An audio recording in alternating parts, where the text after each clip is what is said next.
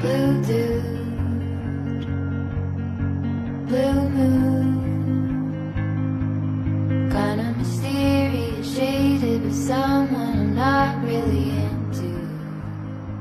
Poor leadership and corruption has eaten up the future and wealth of the state. The greenery is fast disappearing into heaps of litter. So if you drive on the streets of Calabar, oh shit, this thing smells like fuck. The streets are pitch black at night, and filthy during the day.